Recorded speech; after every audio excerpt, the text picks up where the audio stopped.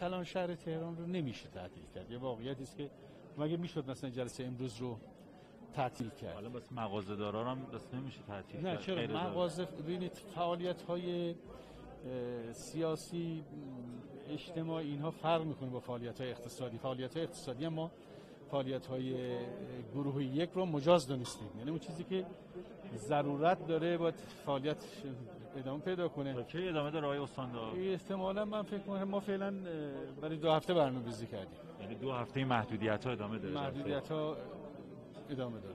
رنگ هم عوض میشه؟ نمیشه. انشالله که اگه مردم هم تا حالا که همکاری کردن اگه همکاریشون هم ادامه پیدا کنه ما فکر می‌کنم که مثل پیکای قبلی زود تحت مدیریت و کنترل قرار حالا تهران وارد موج پنجم شده یا نه آقای استاندار بله شد. یعنی داریم الان پیکو می‌زنیم یا نزدیم؟ هنوز خیزش اولیش هست. بیمارستان هم خبر می‌رسه که پر شده بود. نه پر نشده. ما ببینید ما حدود ده هزار تخت داریم.